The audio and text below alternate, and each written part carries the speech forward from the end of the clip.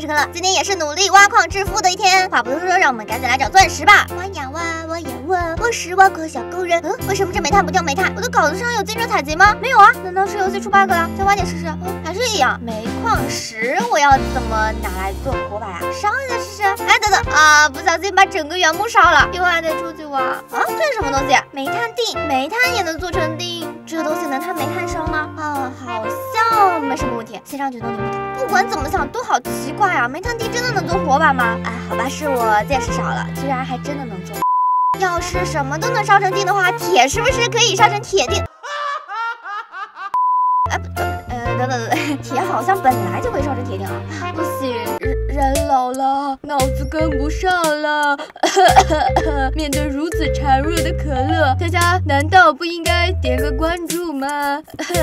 我想到一件十分亏本的事情，如果红石也能变成红石锭的话，原本挖一个红石矿石能掉一堆红石粉，现在只能掉一个了啊！这不是亏死了吗？但是但是，你在哪里？这都挖到极岩了。哎，这里有青金石，我的直觉告诉我青金石也会被做成锭。果然，直接挖下来矿石来了。附魔土狗爱好者表示强烈谴责，这样子岂不是连时运都做不了了？这点青金是哪够用啊？让我试试。出现了，除了好看一无是处的金晶石地，鼓掌鼓掌鼓掌。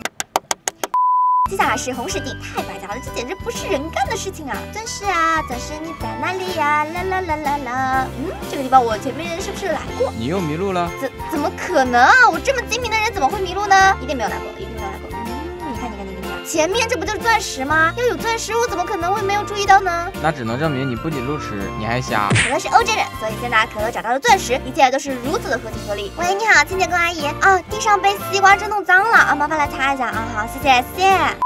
该是时候烧了，全部是锭，漫天的都是锭，绿宝石是锭，红石是锭，青金石是锭，钻石好吧，依旧是锭，这就是传说中的七色战队吧？少个没的集火了。好了，那么本期的视频就到这里结束了，感谢大家陪可乐一起看这些除了好看一无是处还贼浪费资源的各种锭，喜欢的点个关注，可乐请你可乐呀。